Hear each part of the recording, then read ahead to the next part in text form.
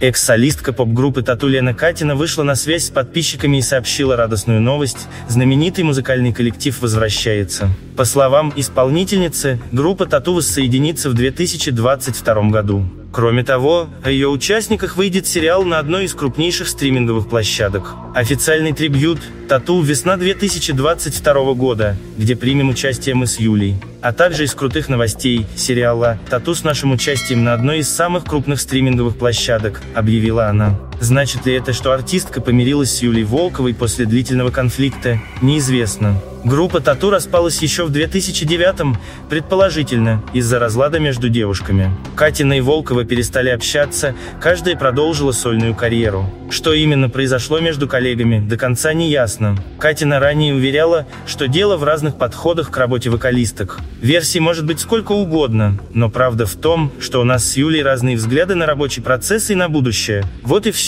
А контакта между нами нет, признавалась звезда.